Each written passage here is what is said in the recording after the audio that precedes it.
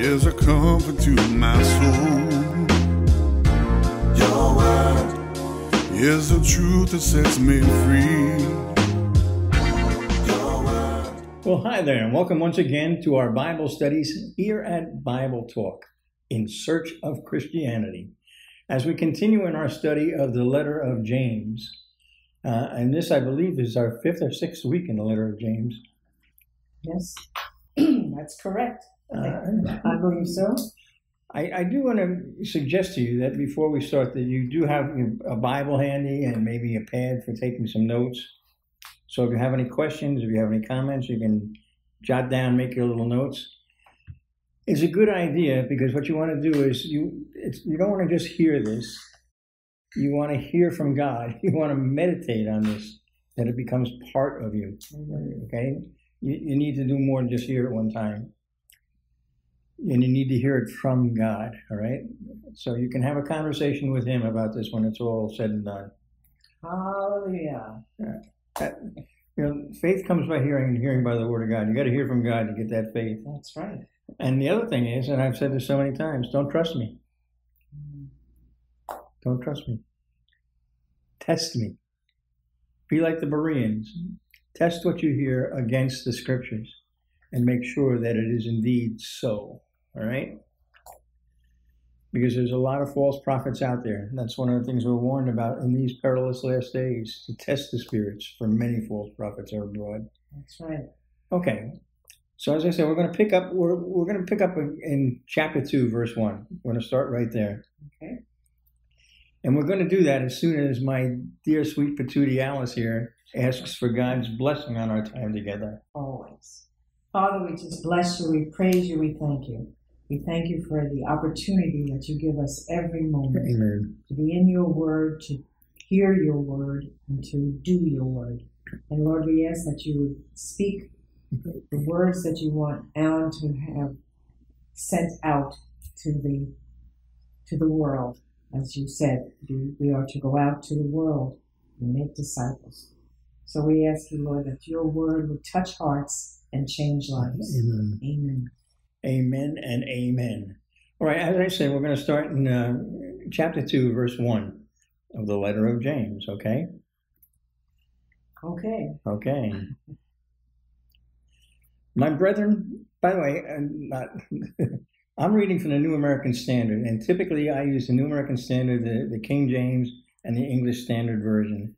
Okay, if you're using uh, a more modern translation, make sure that it's true. Okay, that's up to you to test that. Mhm. My brethren, do not hold your faith in our glorious Lord Jesus Christ with an attitude of personal favoritism. You know, the King James says being a respecter of persons, or not to be a respecter of persons. Peter said that. Peter opened his mouth and said, Of a truth I perceive that God is no respecter of persons in Acts 10.34. That's in the King James. For there's no respect of persons with God. Paul wrote that in Romans chapter 2, verse 11. And Paul also wrote to the Corinthians, and he said, For the love of God controls us. And then he goes on to say, Therefore, from now on, we recognize no one according to the flesh, even though we have known Christ according to the flesh. Yet now we know him in that way no longer. That's uh, 2 Corinthians, I read verses 5, part of 14, and then all of 16. It doesn't matter. You know, I don't know why we, we bow before people that we think are so important. When the fact of the matter is, all of us, all of us are the same in Christ Jesus. Oh, God may have different purposes, different ministry, and but the simple fact is, He paid the same price for me as He did for you, regardless whether you're a king or a pauper. Amen. That's right. So I, I we, we tend to be impressed by people. I'm going to say we, we tend to be impressed by people that have political power or have riches. And as you always said, that if once you meet Jesus Christ, who else could impress you? Who else can impress you? No man can impress That's you. right. And I've, I've had we have been in doing this ministry for four and a half decades, and we've traveled in many, many, many parts of the world. And I've had the opportunity to preach to some of the lowest street people. And I have preached to prime ministers and uh, high muckety muck politicians over the years. Yes. Why would I be more impressed by one than the other? When I spend each day, every day, hanging out with the King of Kings. Hallelujah. Yes. Why do, why do you think that a mayor or a governor is going to impress me when my life is spent continually with the King of Kings? That has to get to be the reality of our life, not just a statement, but it has to be the reality of our life, so that we have the same mind as Christ. The same mind as Paul, who said, Imitate me as I imitate Christ. Don't hold your faith in our glorious. Don't. You know, I'm saying, don't think more highly of those people. But first and foremost, don't think more highly of yourself than you ought. Right, right, right. Okay? And don't think because of what God has done for you that that's your personal favoritism. Like, oh boy, aren't I special? Well, you know what? He loves you. He loves you. Be it's almost no, it's almost incomprehensible in this world to understand how deep the love of God is for us. I don't think we can understand it. No, While we're still here. You know, the word says that while we were yet sinners, Christ died for us. That's how we know. That's this is love. But I don't think we have the capacity to truly understand just how much He loves us. Mm. I think that you know, it's uh, if we did, if we could see that the full love of God in our lives and understand it, we'd probably blow up. Boom, that would be the end of that. It's it, it's more than we could bear. Okay, but just think about that. Give honor to whom honor is due. But don't get over impressed by somebody because of the position that they're in. Right. Okay? Because Christ paid the same price for that person that he paid for that lowliest bum in the street who has accepted him as his Lord and Savior. Amen. Yes. Loves us. Amen. So, if you start treating all people like that, or, uh, particularly let's talk about the household of God. Mhm. If you're treat, treating brothers and sisters, regardless of how impressive they are, regardless of how much money they have, regardless of what position they hold, if you start treating them with a as with the love of God, you know what? You will treat them differently than you are now. I imagine, right? And and you're going to see as we go into this that if there's any bias in the way that James is saying we should look at people, his bias is in the opposite direction of what we typically think. Right. Right? Because that's the world's way. Absolutely. So think about the fact that if you start treating all believers, particularly all believers, that way, you're going to hear at the end of the day God say to you, Truly I say to you, to the extent that you did it to me, to the one of these brothers of mine, even to the least of them, you did it to me. And he'll say, Well done, thou good and faithful servant. And those are the words that you want to hear, right? Absolutely. Absolutely. So let's just go on and, and look at this. And I think, you know, it's going to become more and more clear. In verses 2, I'm going to read verses 2, 3, and 4. It says, For if a man comes into your assembly with a gold ring and dressed in fine clothes, and there also comes in a poor man in dirty clothes, and you pay special attention to the one who is wearing the fine clothes and say, You sit here in a good place, and you say to the poor man, You stand over there, or sit down by my footstool, have you not made distinctions among yourselves and become judges with evil motives? Like I said, if indeed there's a bias at all, it's a bias against the rich here in this letter, and you'll, you'll see that, right? So, and tell me, you, you can't tell me that you've not experienced or seen, if you belong to a congregation of any size, that the natural tendency is if somebody comes in as James says, in fine clothes. If somebody comes in who's very well to do, and do you think they get treated differently than others? Yes. Well, don't let that happen. That's the command of God. Don't let it happen. Because you're judging with evil, evil motives if you do that. God the Father, you know, we've all been purchased with a price, it says. And the price was the same for that person as for that person. The price was the same for me as it is for you. So he holds us to be in equal value. And his love for us. And Um, what's even more sad, if that's correct, is the fact that if they have somebody come into the, the assembly, so to speak, and they're a guest speaker, but this person is well known because they've been all over, they that guest speaker expects to be treated differently, Expects to be differently. which is really sad. Well, it, it is. I mean, be, because our love for each other should be the same. Right. All right. It's not. It's not that the, we we have different ministries, different roles to play in the church, and that's not. There's no doubt about that. That's very clear in Scripture. But the fact of the matter is, our value to the body of Christ, our value to Christ, is not based on that. It's based on what God the Father sent Jesus to do for each and every one of those people. The price that He paid was the same for each and every one of us. Absolutely. Jesus Christ died for you. He died for me. He died for each and every one of us. Oh, yeah. That's the price. Right? So let's not make distinctions, okay, and become judges. Let's have the same incredible amount, godly amount of love for everybody who has been saved by the shed blood of Jesus Christ. Don't make those distinctions, right? Because he goes on to say, Listen, my beloved brethren, did not God choose the poor of this world to be rich in faith and heirs of the kingdom which he promised to those who love him? But you've dishonored the poor man. If it is not the rich, is it not the rich who oppress you and personally drag you into court? The, the rich don't have a good reputation with God. No, they don't. Oh, hello. That's why, you know, there's so much more warning in Scripture as to the danger of riches than there is to the danger of poverty. And yet, you know, it says in Proverbs 30 that he prayed, Two things do I ask before I die, right? And he said, Give me neither riches nor poverty. Because if you have riches, you'll start to trust in the riches mm-hmm. and you'll deny God. Right. And if you have poverty and you don't know how to deal with that, what you'll do is you'll go out and you'll steal to get what you think you need. Right. Either one of those doesn't work. When you have that knowledge that you are a child of God, loved by God, who promised that He will meet all of your needs through His riches and glory in Christ Jesus, you don't need to do either of those.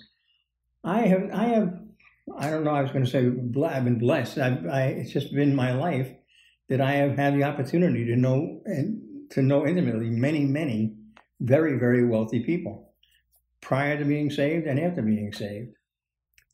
I grew up in Manhattan on Park Avenue as a kid. My first experience was living on 10 Park Avenue in New York. My, my dad managed a hotel. It was filled with people who were the best known. I mean, they were they were stars, movie stars, television stars. They were very, very wealthy people. So it was a blessing to me because I wasn't particularly impressed. I'm a kid. Yeah. What do I know? I mean, you know, You're just a big person. that that yeah, that that person is just a big person. It's just a grown up. Didn't make any difference to me.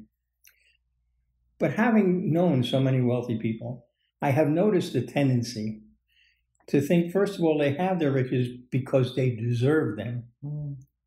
or they have those those riches and then don't act as if God had entrusted them and given them a ministry of that money to use for His purpose. All right, it's a fact.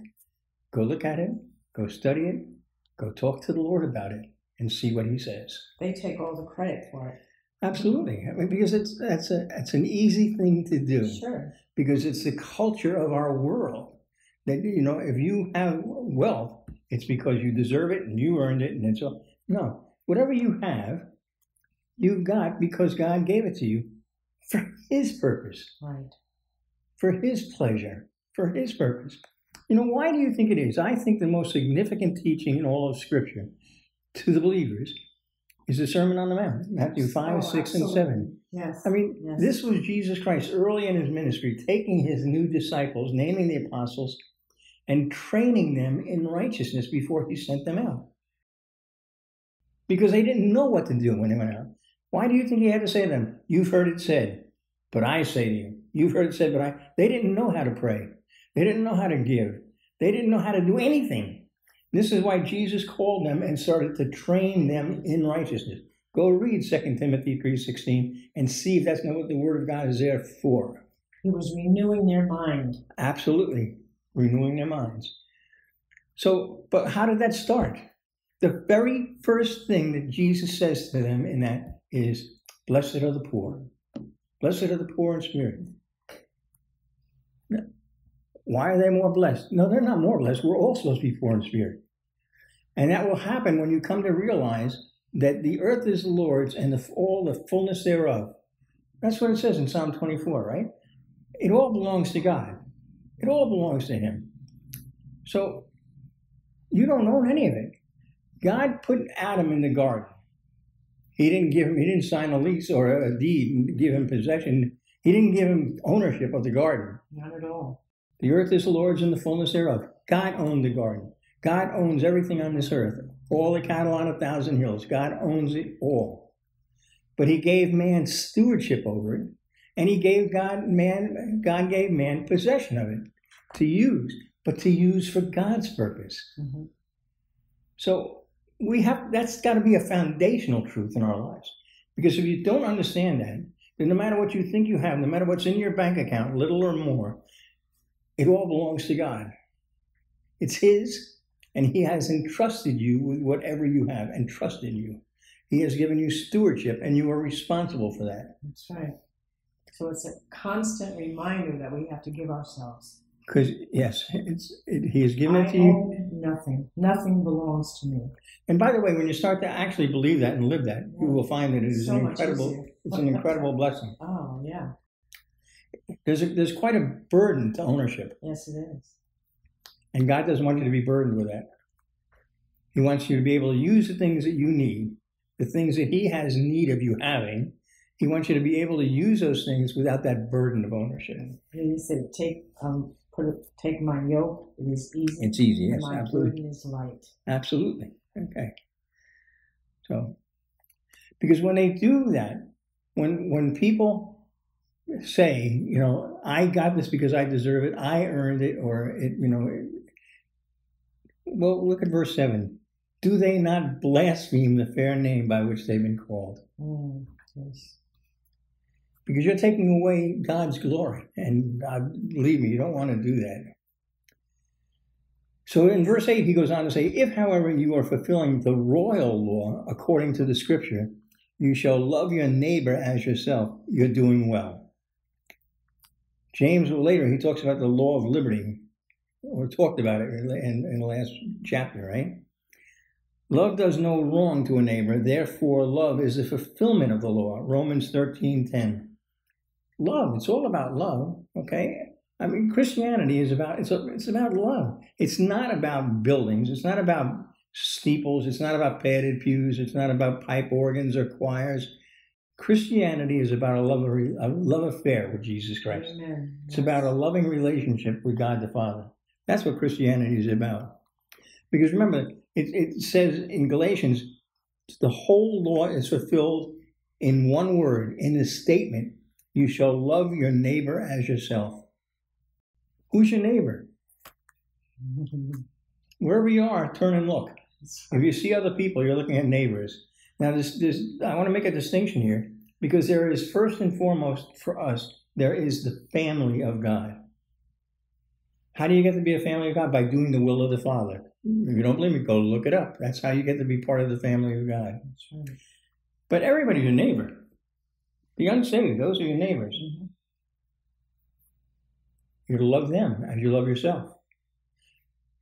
If you want to understand that, think about the this the account, or it's it is a parable, but the account of the Good Samaritan, where you know this man is beat up and robbed and left to die on the street, and one one Jew walks by. Actually, it says he- he's on the other side of the street. He must have crossed the street to not encounter it.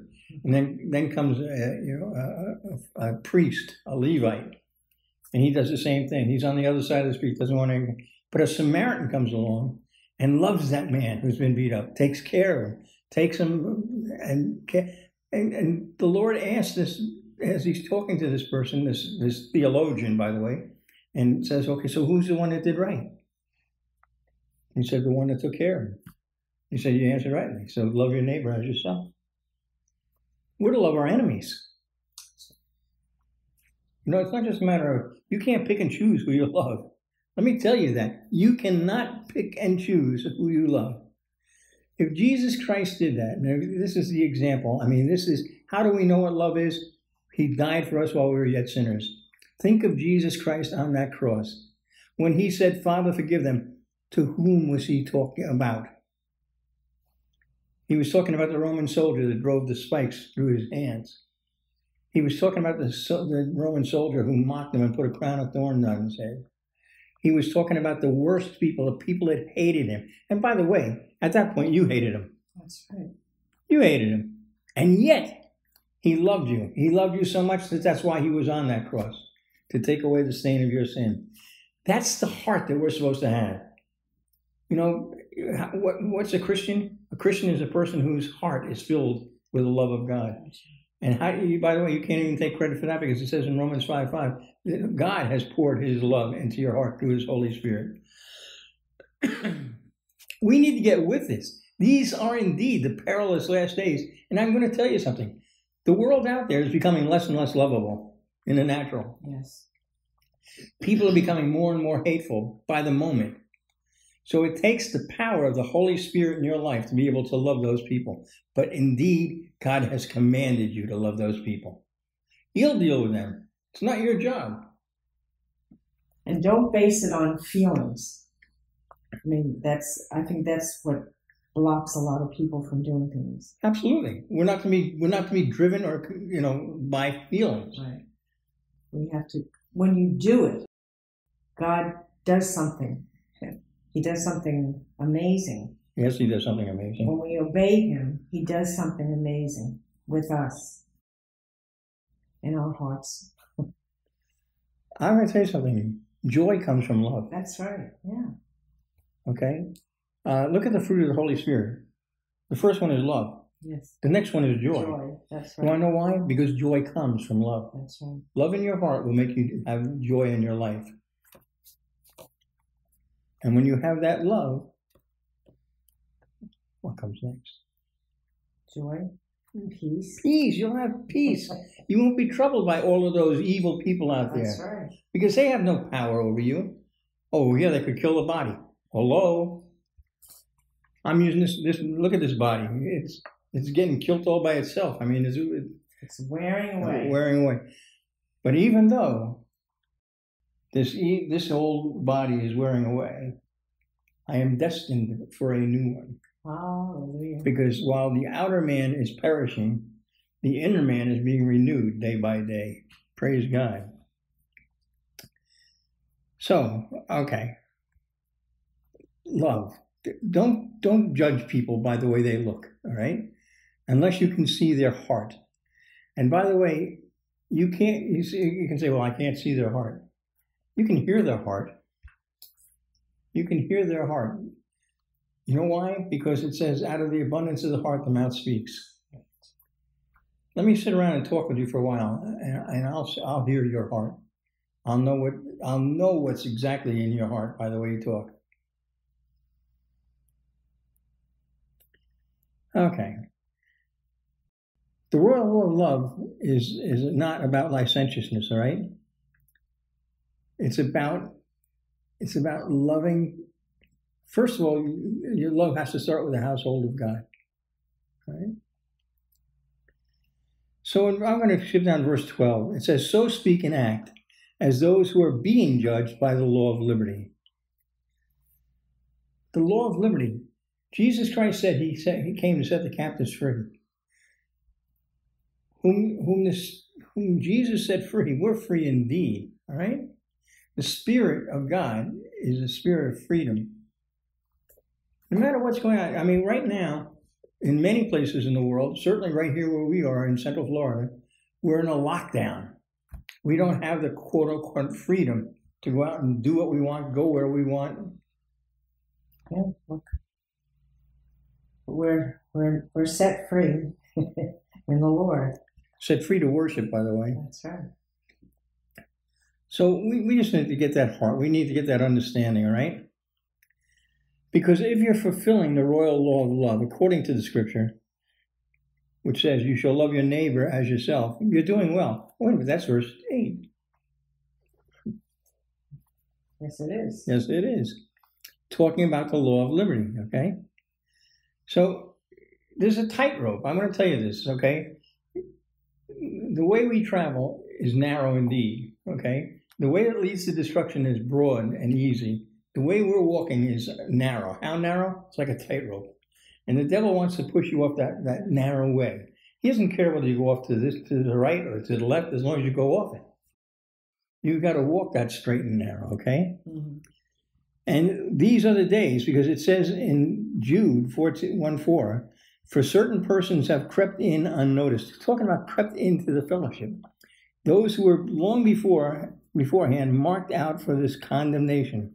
Ungodly persons who turn the grace of our God into licentiousness and deny our only Master and Lord, Jesus Christ. It's Jude 1 4, like I said.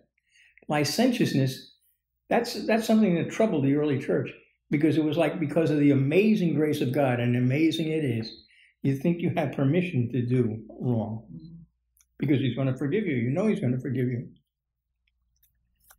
Do you? I mean, at some point in time, your heart will become hardened. If you believe that you can go out and do whatever you want and then just go, and I got to tell you, I grew up in a tradition of the church where you, you could basically do anything you want. And on Saturday, you go to the confessional and it's all white clean. And it makes it easy to sin during the week. Right. All right? You get to the point where then you don't really care. You don't even ask for forgiveness. Don't ever let it be easy for you to sin. Right. I mean, you know it offends God. If you have the mind of Christ, I pray to God that every time you do something wrong, it offends you.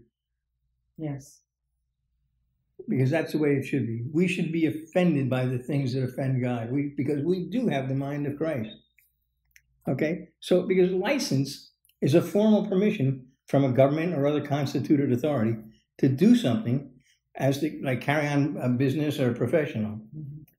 Grace does not bestow license. We are slaves of righteousness, is what it says. Paul wrote in Romans six eighteen. You're either a slave of righteousness or you're a slave of sin. So we are bound to do what is right. That doesn't mean that we're never going to trip or never do it. But thank God, if we're faithful to confess our sins, He's faithful and just to forgive them. But please be on guard. Put a guard on yourself that sin starts to bother you, sin in your life bothers you at least as much as it bothers God.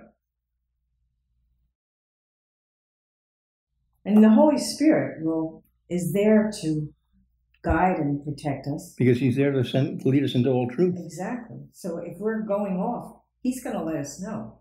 Yeah, But because we have to be aware and take heed.